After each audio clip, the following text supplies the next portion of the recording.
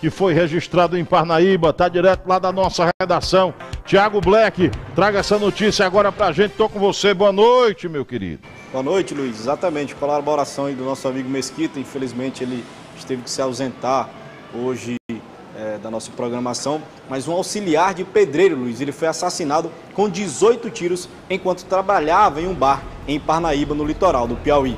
É, nós ouvimos a polícia e aí, ele, e aí o, o comandante aí traz mais, traz mais informações sobre esse assassinato. Vamos conferir. As informações que a gente recebeu aqui dos, dos populares aqui, que esse cidadão, chamado, conhecido como Luan, ele é da cidade de Cocal, ele estava aqui preparando uma massa aí, né?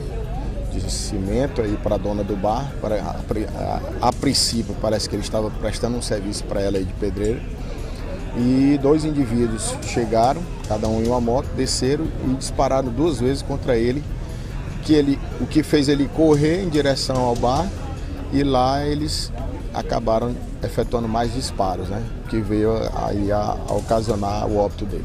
É, a gente deixa aí a cargo da Polícia Civil, que já se encontra aqui, o pessoal da DHPP, para que investigue e chegue à motivação desse crime. A vítima tem passagem pela polícia, só pode informar? Também não posso informar. A gente está fazendo um levantamento aí da ficha pregressa dele, esperando, aguardando o IML para a gente realmente confirmar a identidade dele, né, se realmente é o Luan de Cocal, e tentando identificar e saber quem é ele lá em Cocal, se ele já tem passagem pela polícia, se não.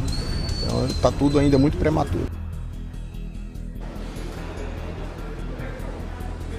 Portanto, tá aí, Luiz. Depois, aí, posteriormente, foi confirmado que se tratava de Francisco Luan dos Santos Pereira. Ele possuía, sim, passagens pela polícia por crimes de roubo e furto em 2018, viu, Luiz? Então, esse já foi tarde. Não, não, não demorou, foi muito, porque aí, quando o cara começa a entrar para o mundo do crime, uma hora ou outra ele tem consciência de que isso vai acontecer. Ou não, né? Acha que só vai se dar bem na vida porque se tivesse a certeza que ia morrer de morte batata, talvez nem entrasse, volta atrás.